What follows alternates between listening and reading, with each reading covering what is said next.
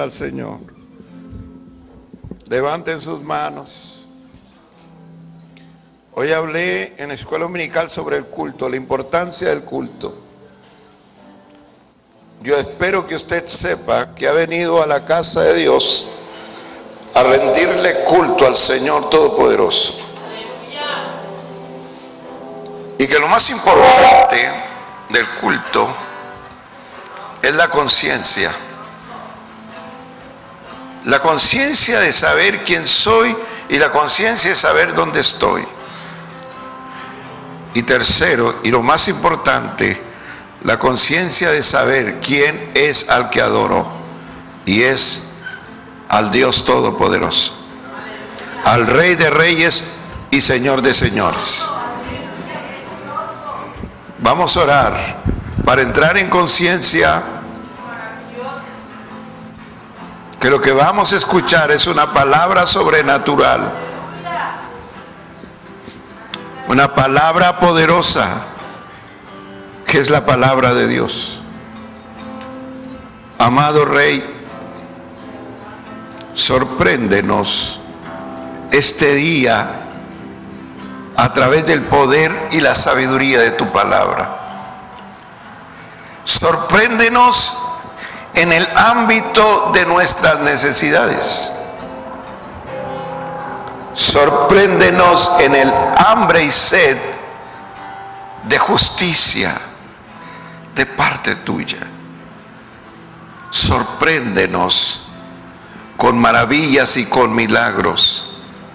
Sorpréndenos, Señor, ahora, en el nombre de Jesús. Así sea. Amén. Pueden sentarse ahora, hermanos. Bueno, vamos a ver allí el, el sonido. Tolérenme un poquito. Toleren mi voz un poquito.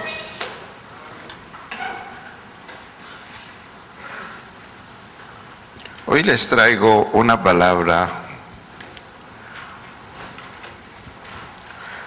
donde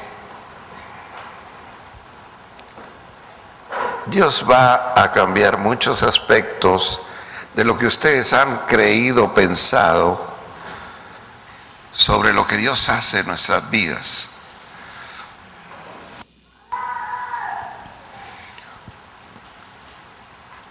Una de las cosas importantes que debemos entender es el propósito cuando Dios nos hizo libres y vinimos a ser pueblo de Dios.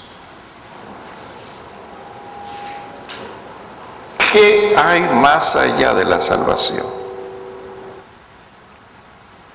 ¿Cuál es la visión que tengo que tener como creyente sobre la salvación? Y hay muchas cosas más. Pero una de esas, las que voy a predicar hoy, es que el pueblo de Dios no es un pueblo de bendiciones, sino un pueblo de herencia. Hoy voy a enfocarme que nuestra vida no tiene el objetivo de vivir de bendiciones, más bien de llegar a nuestra herencia. En Génesis 17, 8 hay una herencia. Y, la herencia, lo primero que quiero que aprendan es que una herencia no se da como compensación o recompensa. Una herencia no se da por compensación o recompensa. Una herencia se da porque usted pertenece a la mente, al corazón o a la genética del que le da. Génesis 17.8 dice, hablando a Abraham, y te daré a ti y a tus generaciones después de ti la tierra en que moras toda la tierra de Canaán te la daré en heredad perpetua y seré el Dios de ellos. Siempre que Dios libera a su pueblo, Dios liberó a Israel de Egipto, nosotros la iglesia somos el pueblo liberados de pecado, de la condición de pecado. Y entonces tenemos que tener un propósito. ¿Qué sigue ser iglesia? Es ir a un propósito bíblico. Si para Israel era Canaán, la tierra prometida, para nosotros es una corona incorruptible en los cielos. La iglesia debe trabajar con propósitos de herencia.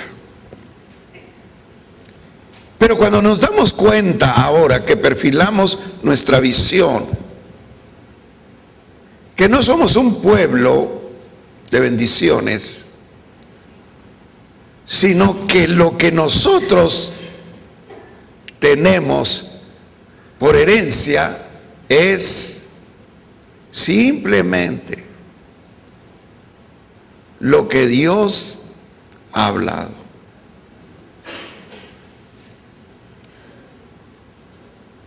Hoy quiero hablar sobre lo que es la bendición. Ya está funcionando este, ¿verdad, hijo? Ay, gracias, porque se me dormía la mano con este micrófono. Vamos a darle un aplauso a Jimmy. Gloria a Dios. A Gerardo Junior, porque tenemos varios Jimmys. Entonces ahora miren, ya puedo hablar y, y no meter las manos. Amén. Tengo las manos desocupadas. Cuando nosotros tenemos la perspectiva de mi herencia, somos un pueblo de herencia. Nosotros no debemos desenfocarnos en bendiciones. Voy a graficar a través de la vida de Israel en el desierto cómo perdieron una generación el derecho de su herencia por no entender que las bendiciones no son herencia. Y muchos hermanos en la iglesia pierden a Cristo y su salvación porque creen que lo único que Dios da son bendiciones. Y el día que no reciben bendiciones, el momento en que no son bendecidos de parte de Dios, creen que Dios los olvidó y se alejan de Él. Primeramente, Dios no planeó, a todos los que están anotando, Dios no planeó que su pueblo libre, Israel, viviera en el desierto. Dios planeó dos mil años atrás, porque acabo de leer una porción de dos mil años atrás, cuando Dios habló a Abraham, Dios le planteó el derecho de herencia de él, su familia y toda su generación.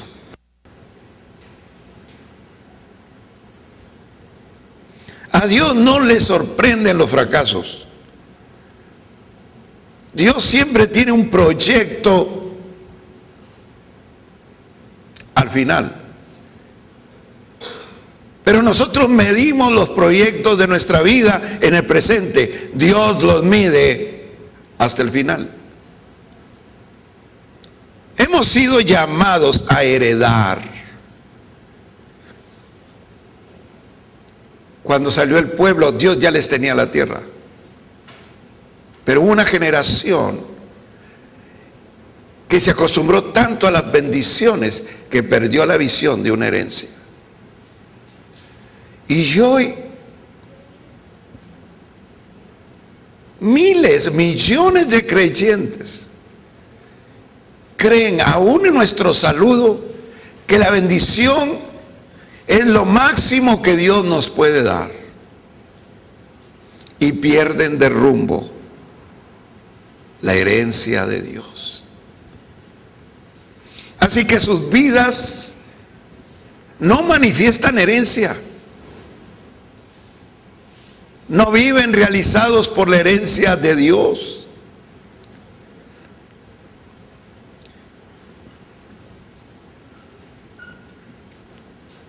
El desierto es el puente para llegar a la herencia. Israel, Israel, tuvo que pasar el desierto. ¿Saben cuántos meses se necesitan para pasar a pie el desierto? Seis meses. Voy a reiterarlo, seis meses. ¿Cuánto hizo Israel? 40 años. Le impidieron a Dios darle su herencia. Porque no le creyeron a Dios la herencia. Ellos se sentían bien con las bendiciones. Solo pensaban en bendiciones caprichosas. Una vez querían en el desierto carne y decían a su líder, queremos carne. Agua, agua.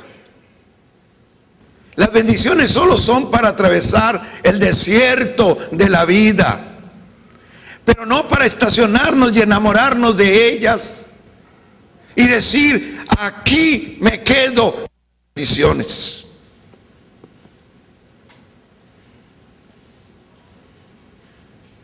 el desierto significa nuestra vida. Como creyentes y como Israel, debe significar el desierto la soledad. Debe significar inseguridad, sufrimiento, carencias, hostilidad, cansancio y para muchos vivir sin sentido. Cuando solo creemos que nuestro Dios no es de altura, sino de valles. Quiere decir que nada más lo único que nos puede dar Dios es una bendición material. Pero que fuera de allí, Dios no puede hacer otra cosa. Entonces, nos estamos enfilando que aquella herencia que Dios tiene para nosotros tarde más de lo que Él quiere que tarde. Medimos a Dios nuestras bendiciones caprichosas. Y si no las tenemos, renunciamos a Él o lo ignoramos.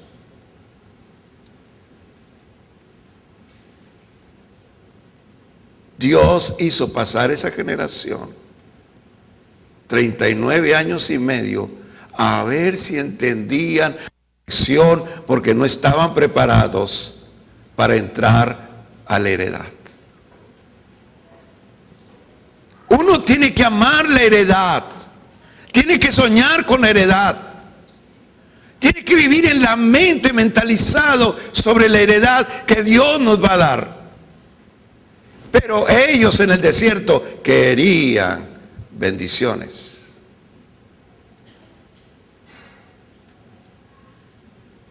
No se cansaban con dar vueltas y vueltas y vueltas al desierto y quedar en lo mismo.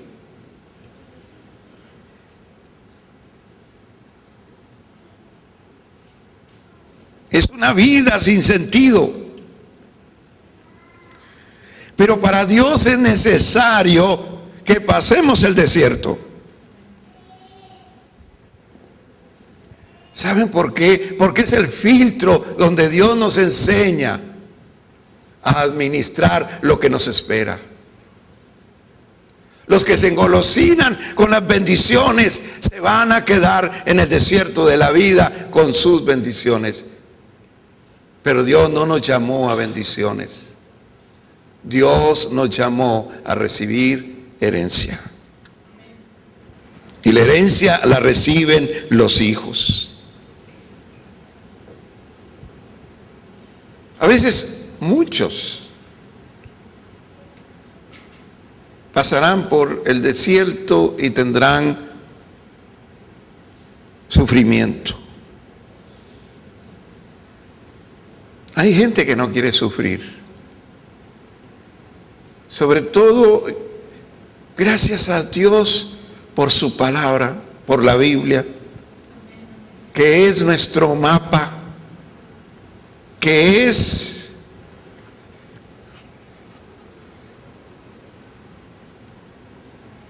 el que contiene el poder del diseñador. Es el libro de las instrucciones. Cuando nosotros pasamos por sufrimientos, Dios nos hace más fuertes. Cuando alguien se casa, debe saber que la primer, el primer perfil del amor es sufrir. El amor, dice el apóstol San Pablo, es sufrido. Y entonces cuando alguien sufre, de inmediato desentiende los perfiles de Dios. Han entendido que la bendición es un estado de conformismo o un estado de, de confort. Pero la Biblia dice que aunque tengamos a Cristo en el corazón, ya aunque los matrimonios se amen mucho, el verdadero amor sufre.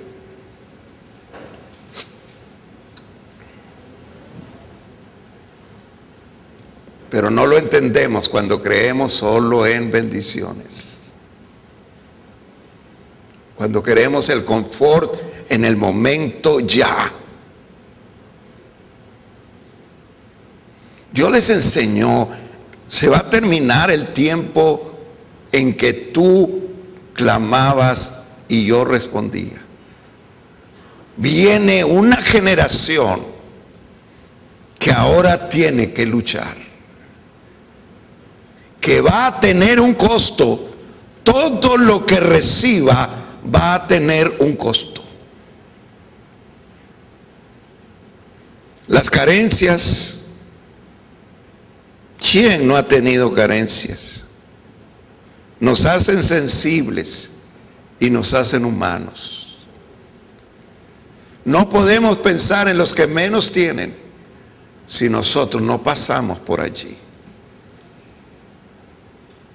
Pero creemos que cuando hay carencias, o Dios no está, o Dios hizo el sordo. Pero no pensamos que es el desierto la lección de nuestra vida para cuando lleguemos a nuestra herencia la podamos administrar. El dolor, ¿quién no ha pasado por el dolor? Nos hace tener esperanza. Las pérdidas. Ustedes han perdido a alguien. Yo he perdido a mi padre, mi madre, mi esposa desde muy jovencita los perdió. Pero ¿saben cómo lo recuerdo? Que cuando llegue al cielo y vea a mi Señor, los buscaré de inmediato. O tal vez me estarán esperando. Esta vida es un desierto. Y tenemos que aprender que un día no vamos a vivir bendiciones. Y tiene que tener en su mente que esa no es nuestra meta. El propósito es la herencia.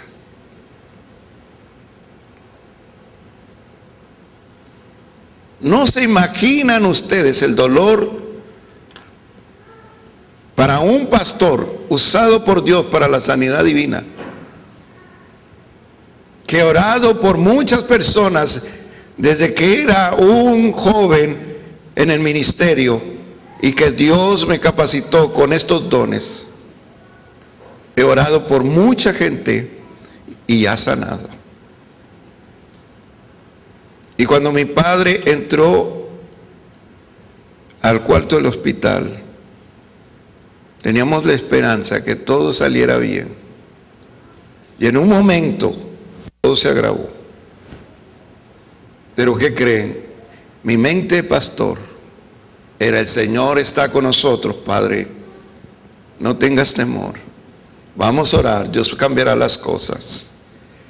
Estaba mi hermano Chichi, mi hermano Israel.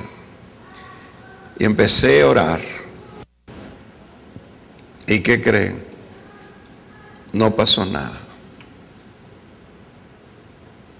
Y seguí orando y mi padre agravándose.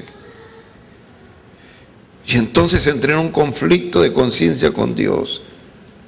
¿Cómo es posible que me hayas usado con personas que yo ni conocía y que en muchas ocasiones a veces con desdén oré por ellas y tú las sanaste.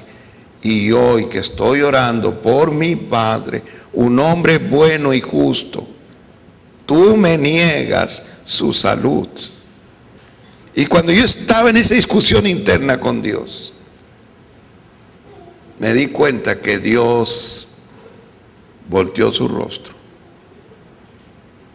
Y entonces dejé mi rol de hijo y tomé mi rol de pastor y abracé a papá y lo empecé a conducir al reino de Dios con palabras al oído.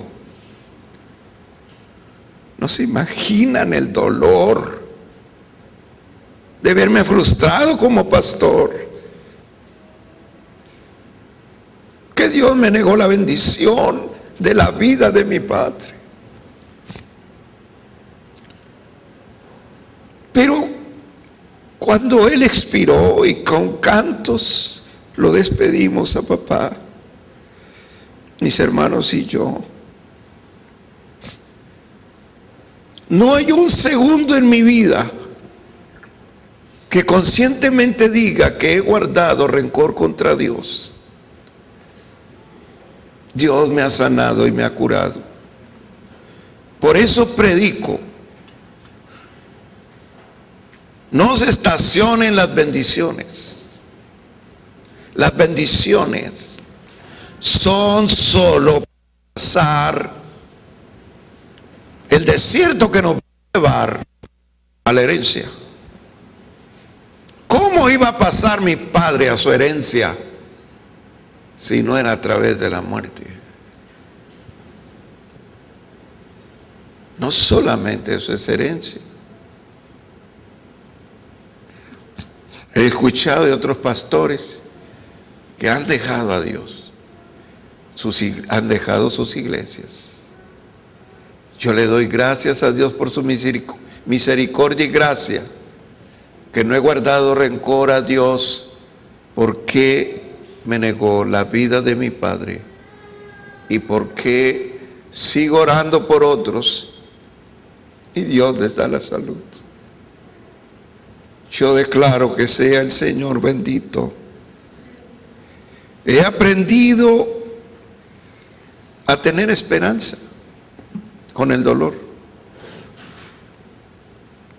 La tristeza nos hace tener resistencia en la vida. Proverbios dice que es mejor estar en la casa del lloro que estar en la casa de la risa. Quiere decir, donde hay mucha fiesta. Que el dolor nos hace resistentes. Nos da calidad. ¿Cómo necesitamos Aquello que dijo Dios en el Antiguo Testamento y que dijo Jesús en el Nuevo Testamento, y voy a hablar lo que él dijo, lo que ellos hablaron, y es, esfuérzate. Digan conmigo, esfuérzate. Por acá, esfuérzate. Son palabras tan sutiles, pero que son parte para ir y tomar nuestra herencia. Me gustan mucho los deportes. Cuando hay olimpiadas no me despierto. Me gusta verlo. Pero las carreras, la carrera reina, me encanta ver a la de 100 metros, la velocidad. Y como son tan veloces, hay una raya que ponen, este, ellos no la ven, pero es un infrarrojo.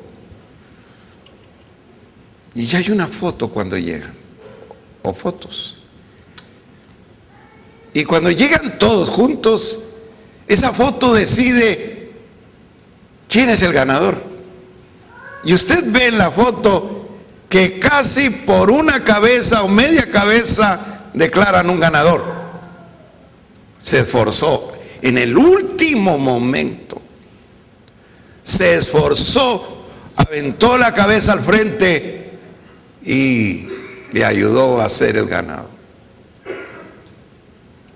Eso es interesante. Muchos de ustedes no necesitan más fe, necesitan solo esfuerzo. Muchos de ustedes no necesitan más sabiduría, solo necesitan esfuerzo. Muchos de ustedes no necesitan más de Dios, necesitan esforzarse.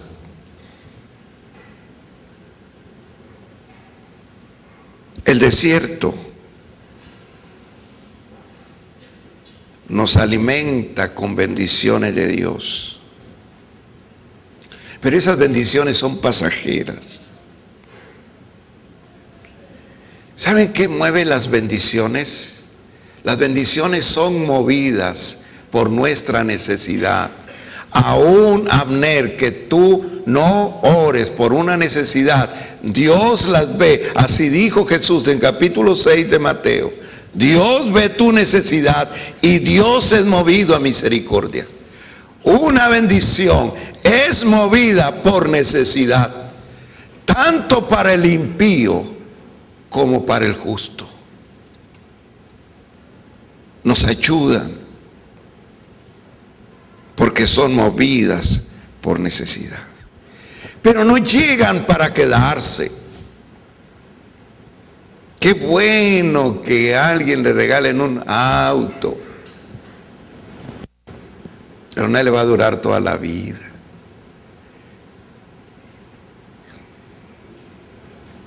Cuando pague la tenencia, casi va a llorar. Cuando eche gasolina, casi va a llorar. Cuando lo choquen, tan bonito que estaba. Pero pues allí sí va a llorar, porque no llegan para quedarse. Una casa no llega para quedarse. Los zapatos, la ropa, un trabajo, no son para quedarse. Dios nos enseña en el desierto a vivir varios escenarios. Y es el deber de nosotros aprender a vivir en varios escenarios. Los pastores, sus pastores, no hemos vivido siempre este escenario. Pero he aprendido en el desierto una cosa y un arte de Dios, que es a contentarme con lo que Dios me da.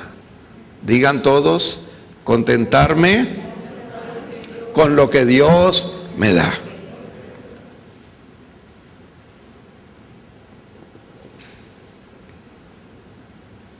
Hoy estamos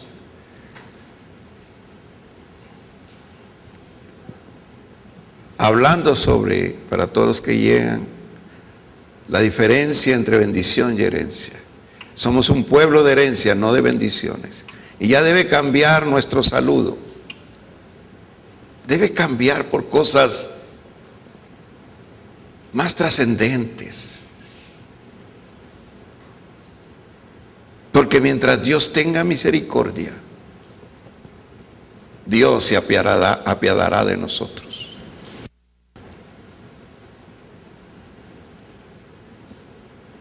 Cada vez que Dios te bendice, Mario Junior, te está diciendo, sigue rumbo a tu herencia.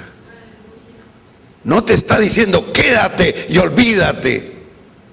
Esto está mejor que la herencia que te voy a dar. No está diciendo eso.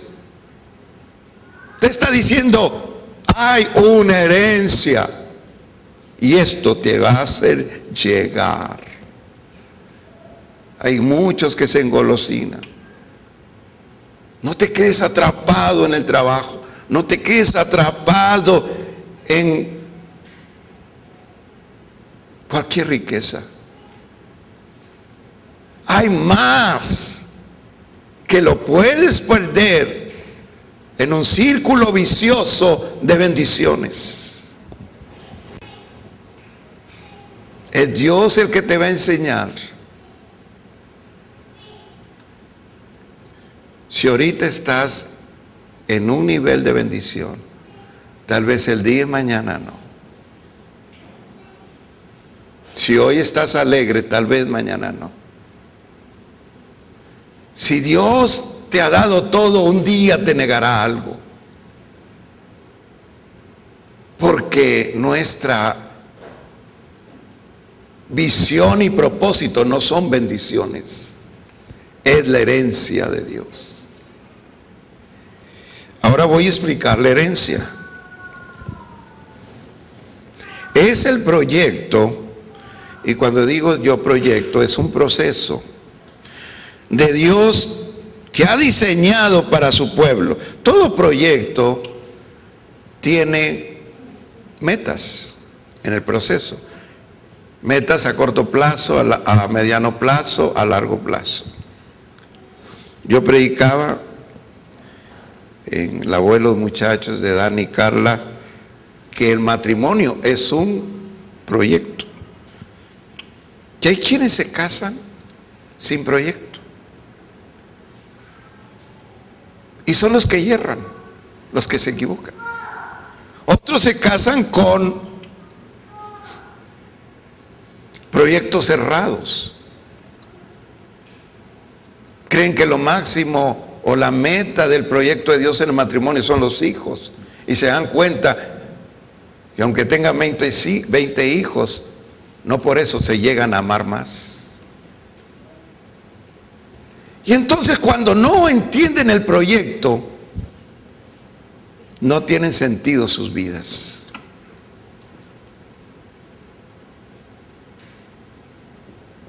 Pues Dios en el proyecto de Dios, Él diseñó una herencia para su pueblo.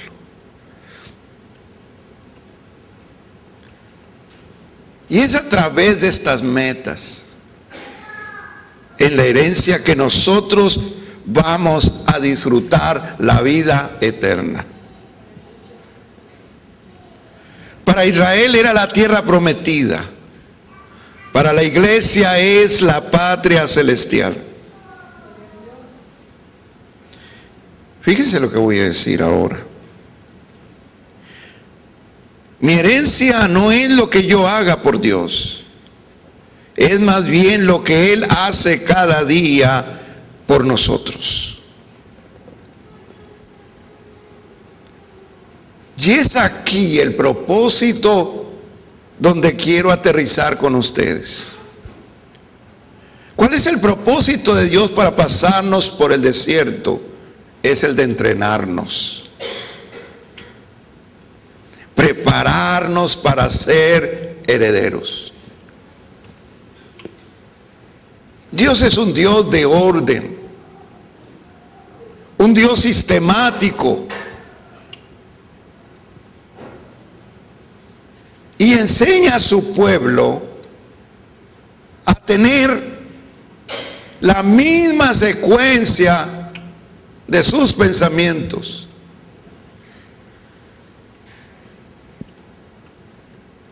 El primer paso para mi herencia es mi salvación. Dios no trabaja con gente que no sea salva o que no permanezca en la salvación por Cristo. Si alguien perdió su salvación, entonces tiene que arrepentirse para que Dios empiece a trabajar. Perdió su herencia. Dios tiene que restituirlo. Pero todo inicia con nuestra salvación. Primer paso. Y en este desierto que es nuestra vida, Dios nos ayuda. El segundo paso, mi identidad. Dios tiene que trabajar mucho con mi identidad. Me, agrada oír cuando dice la gente, yo soy el hijo de un rey, pero no se parece a nada. Yo soy la, la hija de un rey, pero no se parece a nada, más bien parece plebeyo, plebeya. Pero no se parece nada al rey de reyes. Porque es precisamente el estar en el desierto que Dios nos va a entrenar para llegar a hacerlo.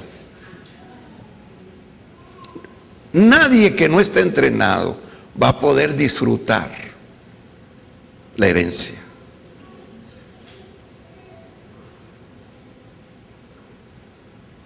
Dios ha querido trabajar sobre mi identidad, sobre los perfiles de hijo de Dios. Yo le dije una vez a un pastor, riéndonos, tú pareces todo, pero menos un pastor.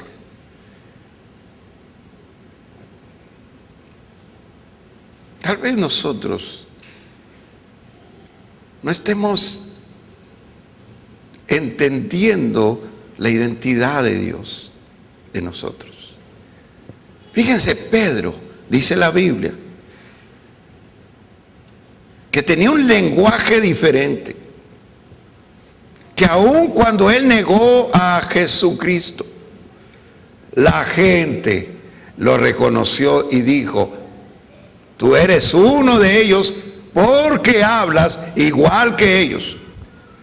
Cuando yo hablo de identidad, hermanas, estoy hablando de cultura cristiana. Una de las cosas que ignora la iglesia de hoy es que el Evangelio no es religión, el Evangelio es cultura. Y tiene sus perfiles culturales. Uno de ellos es cómo te expresas, cómo hablas.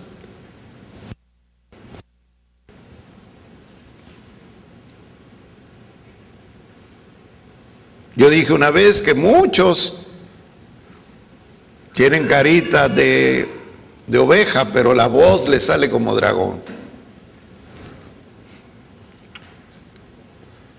Dios tiene que trabajar mucho con los perfiles de nuestra identidad. Si somos embajadores de Cristo, debemos representarlo en nuestra humanidad. Dios tiene que trabajar mucho con nuestros picos y picotes. Lo segundo es nuestro carácter. Donde se involucra también el temperamento y el instinto. Las mejores cosas de Dios, muchos las destruyen por su carácter. O muchos las construyen por su carácter. Cuando ustedes lean el capítulo 14 de Proverbios, leerán sobre la mujer y dice que la mujer necia con sus manos destruye su casa. La destrucción no es un perfil de Dios. La Biblia no dice que Dios vino para destruir, sino el diablo.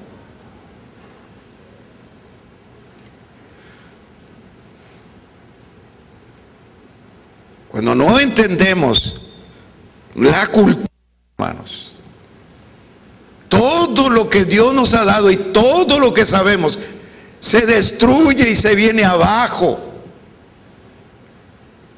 Porque no hay los rasgos de Dios en nosotros. Lo tercero es mi visión de la vida. Dejamos de ser egoístas. Cuando damos a Dios, una de las últimas cosas que he aprendido sobre el liderazgo es que el líder no da, el líder se da, el líder invierte.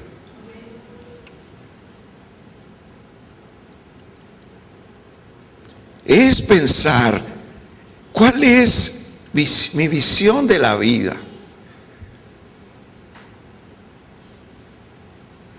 Muchos dicen la felicidad.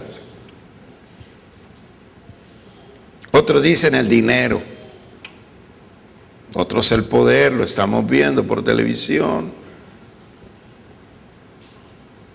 Otros dicen Cristo, otros dicen la ayuda social.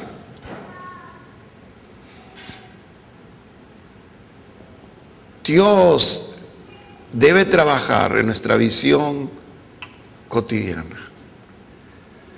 Me sorprenden las preguntas del apóstol San Pablo cuando era Saulo de Tarso, caído en el suelo, derrumbado. Pregunta, ¿quién eres, Señor? Segunda pregunta, ¿qué quieres que haga?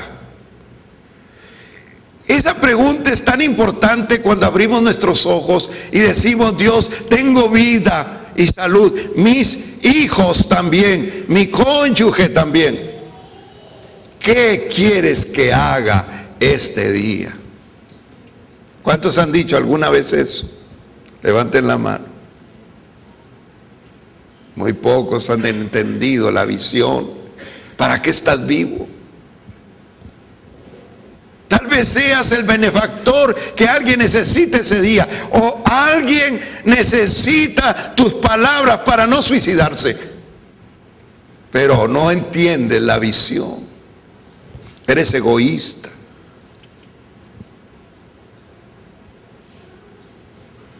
Esta iglesia estaría llena si tuviéramos una visión social. La iglesia nació en una visión social pensando en otros, los que menos tienen, los que más padecen. Esa es nuestra misión. La iglesia ha dejado de misionar, de evangelizar, de llevar a Jesús a las calles, a las cárceles, a los hospitales.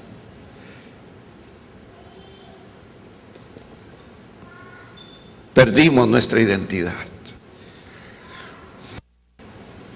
No sé si fue a, nuestra iglesia que envió un video o a la red de pastores de las varias que, en que estoy sobre Jesús abrazando a un enfermo y se ve a un hombre con corbata yendo a un hospital abrazando a un enfermo. Sobre Jesús viendo a los chicos y se ve un hombre visitando un reformatorio de jóvenes y abrazando a un joven. Somos nosotros Jesús. Somos nosotros la sal de la tierra. No se olvide. Jesús transita a través de nosotros. Jesús va a donde nosotros vamos y llevamos a Él. Iglesia se quedó en el desierto con otras cosas pero no está entendiendo algo trascendente, que es la herencia. Alguien que nadie te puede quitar ni el diablo es tu salvación, es tu misión, es tu identidad. Mire, lo primero que Dios, que Satanás ataca en la vida, pongan atención, es nuestra identidad. Capítulo 4 de Mateo dice que Jesús fue llevado al desierto por el Espíritu Santo a una prueba. Hay veces, muchas veces que nosotros vamos al desierto, pero otras que nos lleva el Señor. Y allí estaba Satanás esperándole. 400 metros se ve desde Jericó, le llaman el monte de la tentación. Hasta allá, altísimo.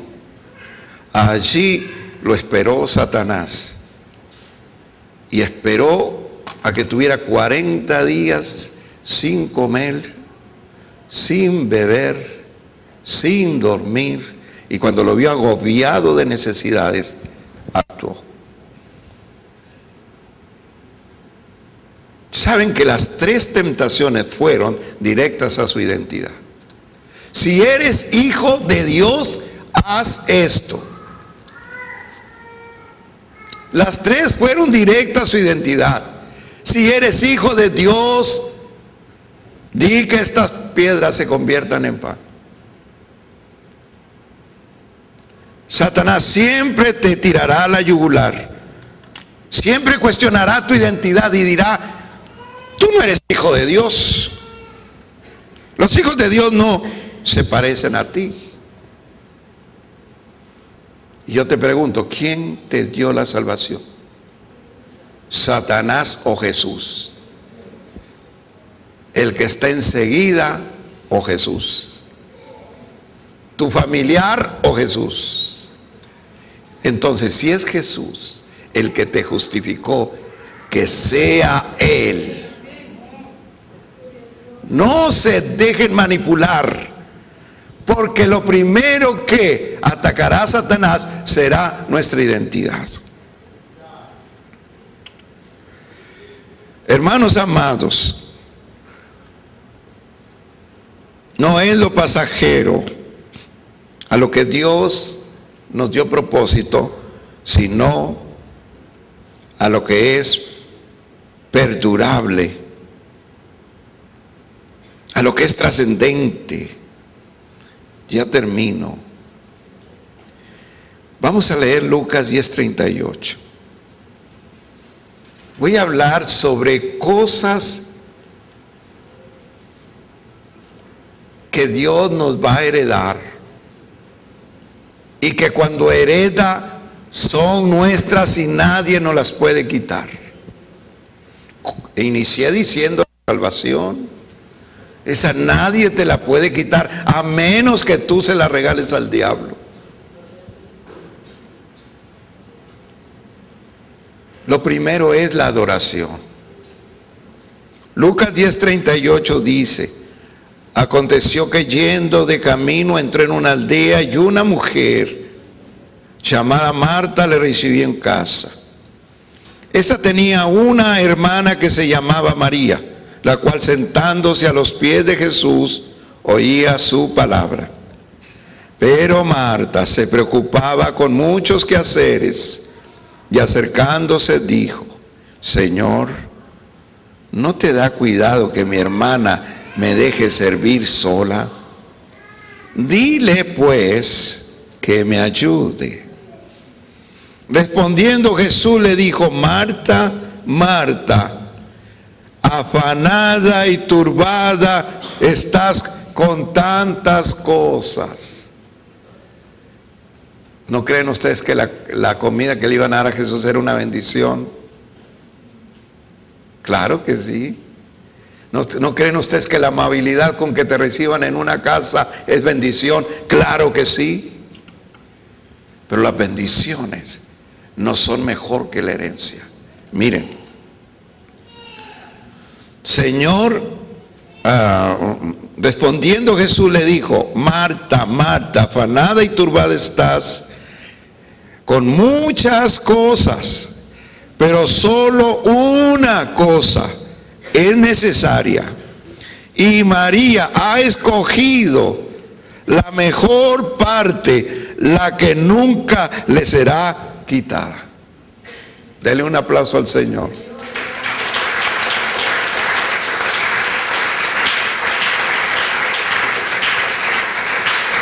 La mejor parte que habla Jesús es la adoración. La adoración incluye la atención. María era una chica a los pies del Señor, extasiada, no se movía, estaba aprendiendo. El conocimiento de Dios ni el diablo te lo quita. El conocimiento de Dios te lo llevas hasta la tumba y de allí al cielo. Es la parte que nadie podrá quitarte. Hermanos, nunca he sabido que un adorador esté lejos de Dios. Los adoradores son los más cercanos. Me quedé sorprendido con un artista, cantante, de nivel mundial. No le llegaba a nuestro Gerardo, ¿verdad? Pero bueno, eh, había pagado mucho para la fama. Y muy atento el hombre, baja el avión y ¿qué creen? Que había un montón de muchachitas, no eran las chicas bien, Estaban allí en el agua esperándolo. Yo dije, no les va a hacer ni caso. No, sí les hizo caso. Se fue, quién sé qué les dijo, y las abrazó. Dije, ah, caray, estas se conocen. Después supe que era el primer círculo de fans en México de él. Y que diariamente se comunican con él. Después supe que tenían tapizado el cuarto de sus fotos y que tenían todos sus discos y sabía. Era el primer círculo de sus fans. Un adorador es el fan de Dios. Está en el primer círculo y le dice a los serafines, háganse un lado, ya llegamos. Déselo fuerte al Señor. Fuerte, fuerte al Señor.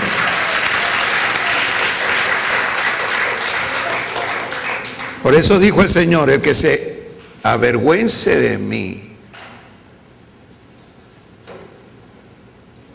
aquí en la tierra, le digo que yo me avergonzaré de él delante de mi Santo Padre y de los santos ángeles. Dios ama a sus adoradores. Es alguien, el adorador tiene un lugar seguro junto al corazón de Dios. El mejor lugar para estar en el VIP divino es ser adorador. A los adoradores Dios los conoce por nombre. A los adoradores Dios los busca. Es algo que nadie podrá quitarte. Para ser adorador hay que ser muy atento. Hay, que ser gente que escucha.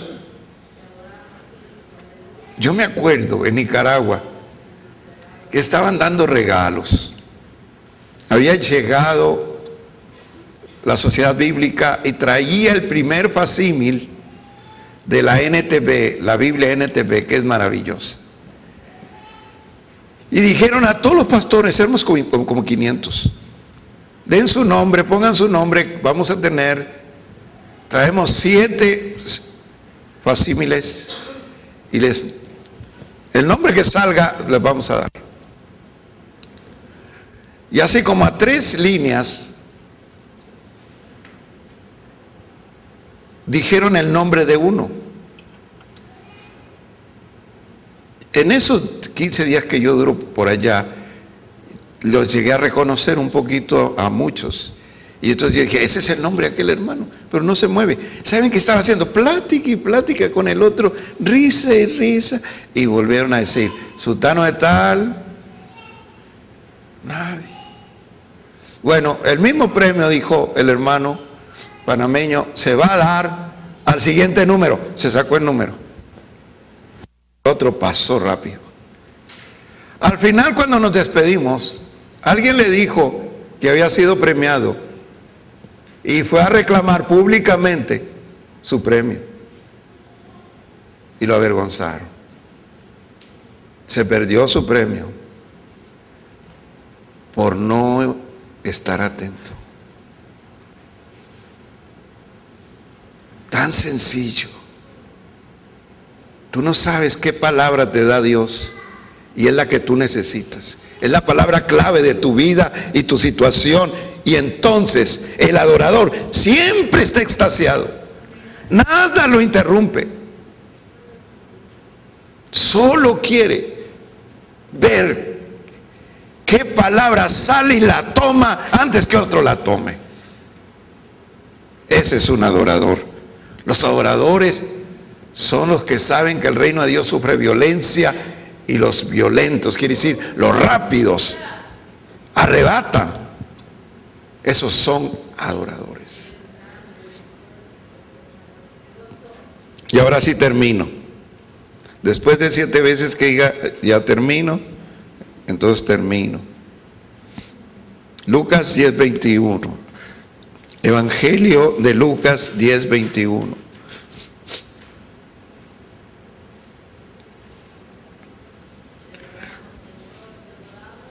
En aquella misma hora Jesús, perdón, voy a leer Juan 5:24, disculpen, Juan 5:24. En un momento más vamos a Lucas 10:21. Juan 5:24. De cierto, de cierto les digo, fíjense, el que oye mi palabra, y el que cree al que me envió, no solamente hay que escuchar bien, también hay que creer que lo que estás escuchando viene de Dios.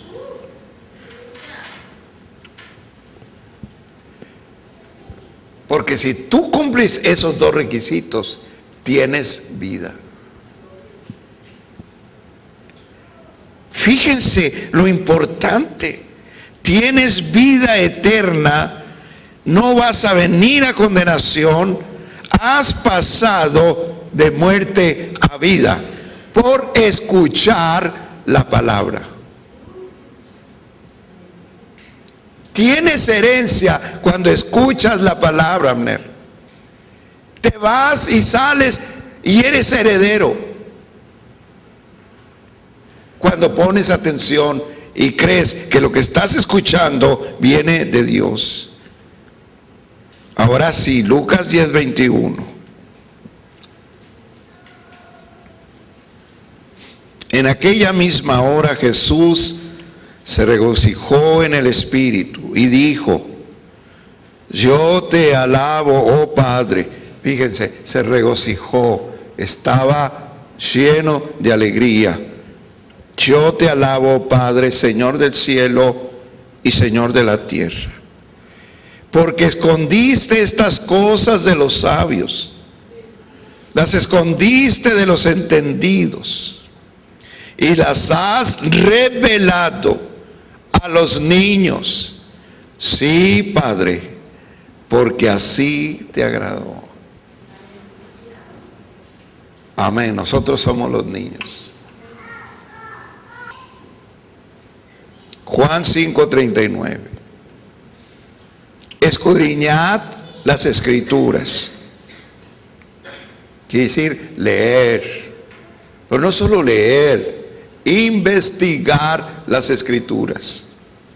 Porque a vosotros les parecerá que en ellas tenéis la vida eterna. Fíjense, ¿dónde está la herencia? En la Biblia, en las palabras de Dios. Y ellas, las escrituras, son las que dan referencia de mí. Usted no puede hacer caso de nadie que habla de Dios, sino es este libro. Este libro es el autorizado para hablar sobre Jesús. Nadie puede hablar en nombre de Dios y tener la verdad si no es a través de este libro.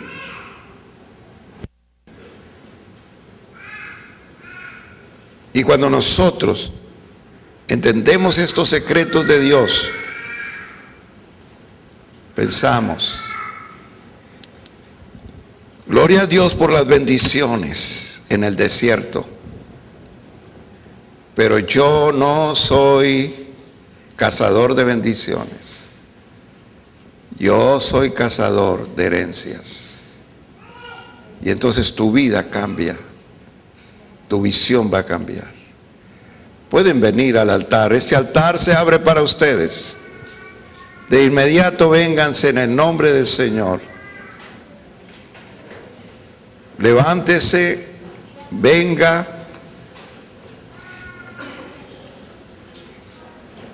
Llegue, levante sus manos, por favor.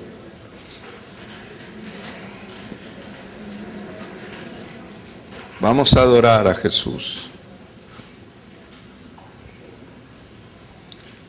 Adoremos a Jesús. Levanten sus manos. Si alguien dice que como hijo con mi identidad yo tengo problemas, pastor, hoy es el momento que actualices tu identidad con Dios. Hoy es el tiempo que actualices tu identidad con Dios. Por favor, levanten sus manos. Aleluya. Levanten sus manos, oremos al Señor. Yo hablé sobre muchas cosas que ustedes pueden tener como una referencia para orar en este momento en el altar. ¿Qué es lo que necesita tu alma? Aquí está la bendición. Ponte a cuentas con Dios.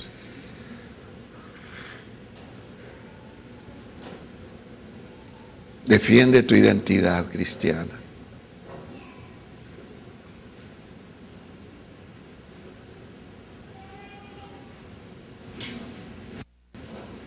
Estás pasando por un desierto, piensa que te está entrenando el Señor para administrar correctamente lo que viene adelante.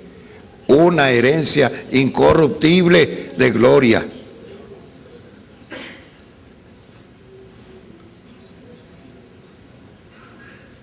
Israel solo pensaba en desierto y bendiciones. Ellos nunca soñaron siquiera con una nación que tendría una tierra privilegiada. Se acostumbraron tanto a su rutina que Dios dijo, no merecen tener herencia. Y Dios los borró de la tierra. Pero se levantó una generación que le creyó a Dios.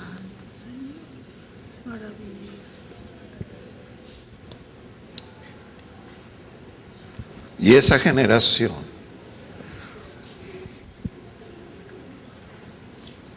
encabezada por Caleb y Josué, le creyeron a Dios.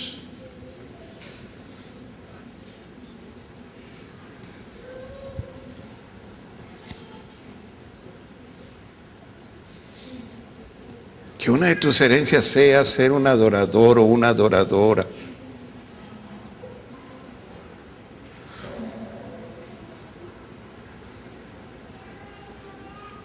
si hay un privilegio que sea el privilegio de María de estar a los pies de Jesús. Hay un lugar más privilegiado que ser un adorador.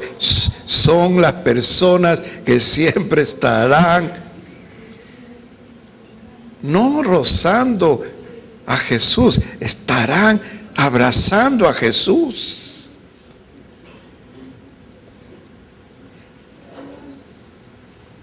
Los envidiosos fariseos estaban en que una mujer que había sido una prostituta estuviera abrazando a Jesús, derramando un perfume, llorando sobre sus pies y besándolos. Pero Jesús no la quitó. Ese lugar se lo ganó una adoradora. Hay herencias que, que debes disfrutar ya. No solamente cuando muramos y esperemos el cielo, las santas escrituras son tu herencia. Allí hay más de 33 mil promesas que Dios te da. Cada uno es tuya. Cada herencia es, es una herencia tuya.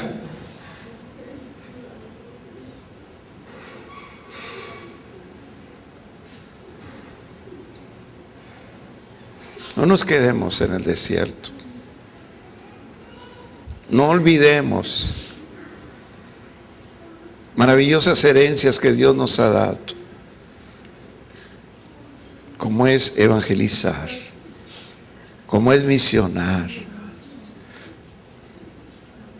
como es pensar en los que menos tienen, que es construir la vida destruida de otros una palabra tuya puede cambiar el destino de una persona. Puede evitar que se quite la vida. Hoy hay un espíritu destructivo de suicidio en nuestro estado.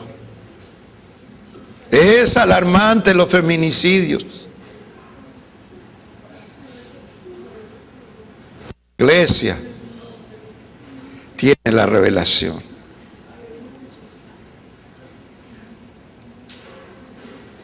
¿Qué encuentras en la Biblia? Todo lo que encuentres te pertenece porque es tu herencia. Tómalo y di, esta es mi herencia. Y empieza a hacer lo que creíste. La porción que creíste, ponla en práctica. En el nombre de Jesús. El Señor, voy a orar por aquellos creyentes que quieren nuevamente empezar a reformar su identidad con Dios. Pueden pasar aquí donde hay un clarito, aquí pueden pasar. Todos los que dudan de su identidad con Dios, de su identidad como hijos de Dios, pasen aquí en el nombre de Cristo.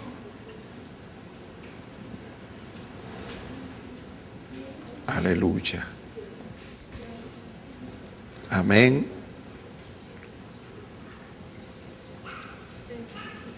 Gloria a Dios. Nadie duda de su identidad. Todos tienen su identidad madura con Dios. Amén, mi hermano. Cierren sus ojos todos. Yo sé que hay más personas que sienten, yo quiero identificarme con Dios.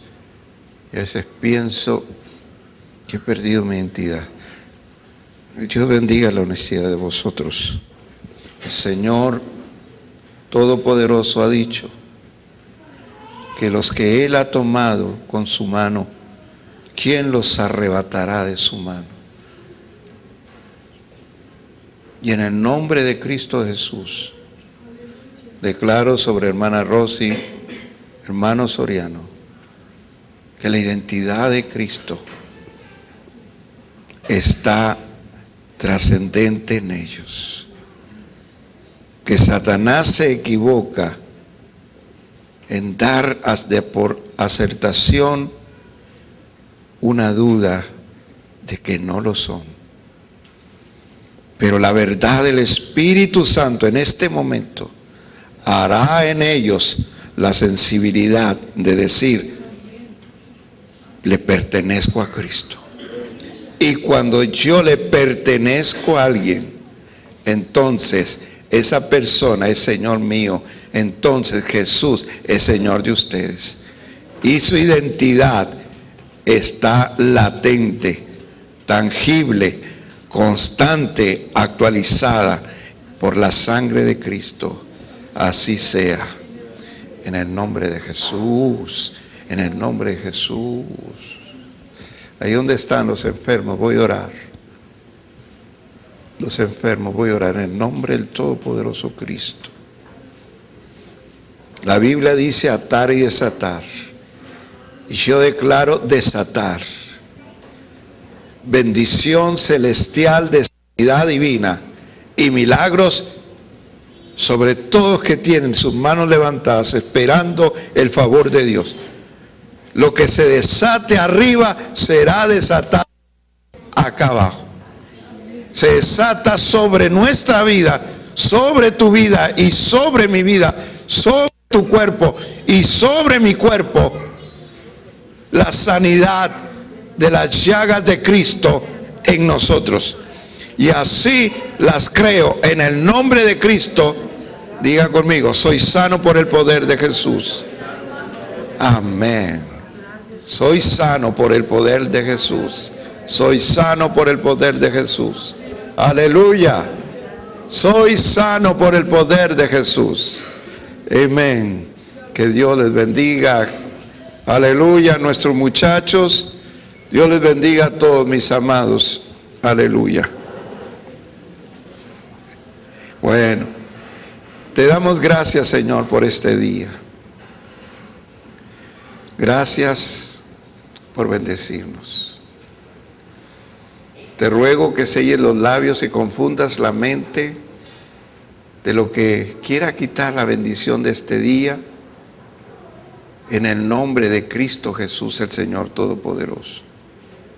Que el amor de Dios, la gracia de nuestro Señor Jesucristo y la comunión del Santo Espíritu sean sobre todos nosotros y el pueblo de Cristo, dice, así sea. Dios les bendiga a todos, salúdense en el nombre de Cristo. Gracias. En tu presencia renuevas en tu presencia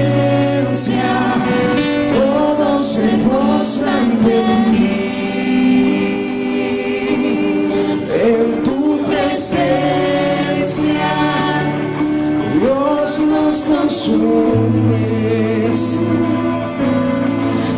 tu presencia el cielo y la tierra no son. En tu presencia renuevas tu